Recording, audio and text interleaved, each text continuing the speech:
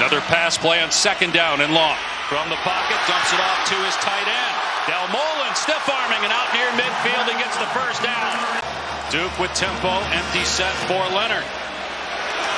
Takes off, makes the first man miss and dives to the 42 yard line.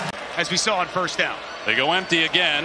Leonard going to throw this time and it's caught inside the 30 by Hagans and down to the 25 yard line for a gain of 18.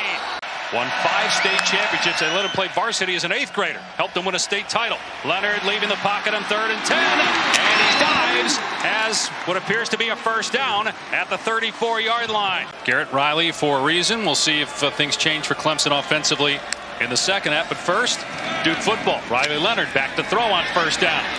Stepping up to run. And again makes the defender miss. Stepping out of bounds after he picks up the first down. Wonder if they're thinking four down territory here if they don't pick this up on third down and three. Design run for Leonard, and he's able to break a tackle and get the first down and more.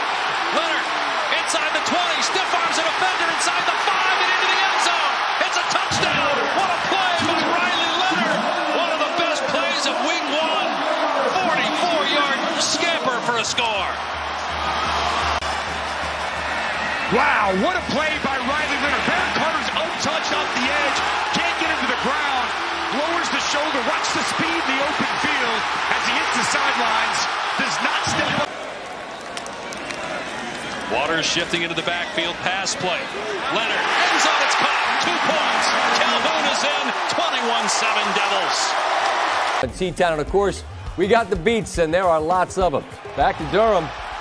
Dave, Industrial.